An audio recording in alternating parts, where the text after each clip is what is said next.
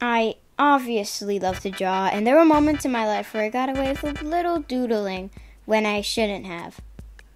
In preschool, after playtime, the teachers will tell us that we had to take a nap. So we had these blue thingies that we would fall asleep on for an hour or two. But me, as a sneaky guy I was, I'd pretend to sleep for 15 minutes, then I would wake up as the teachers would leave to eat lunch or something, and go over to the middle of the nap time square and sit at the table, take a sheet of paper from the table, and draw until the teachers come back with my pencils. So I'd wake up basically, draw for 30 minutes, and pretend to sleep until they come in. If you guys are asking, how did you not get caught with the drawing on the table and the pencils also left on the table? Well, when I finished drawing, I would go over to the cubby and slide my paper and pencils into my book bag.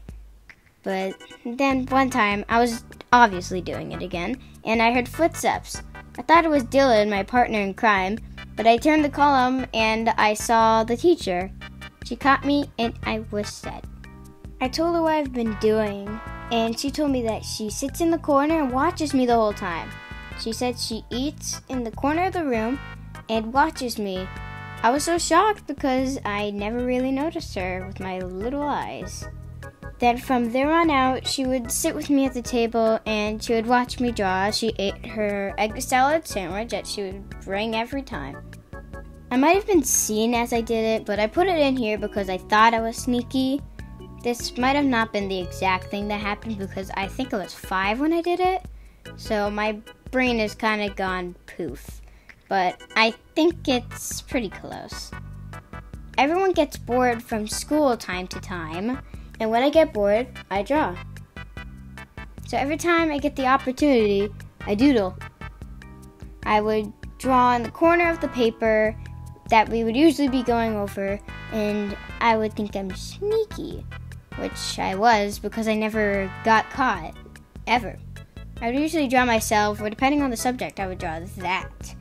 Because if I draw that and I get caught, I won't be in as much trouble as if I draw something completely off topic.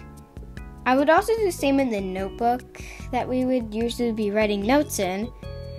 And like normal, I would draw little sketches. But sometimes I get risky and I draw very weird, random stuff that I don't even know what they're supposed to look like. And the same thing with other doodles, I luckily never got caught. But I almost did once. I was quickly writing things down, then when I finished writing my notes down, I started to doodle in the corner of my paper. But then the teacher started to walk around to see if people were writing stuff down like they were supposed to. I saw her starting to walk to me and I sweated. I started to stress quickly and reached into my desk and picked up a big eraser that was kind of in the shape of an O because I poked a hole through it, and quickly erased a little sketch.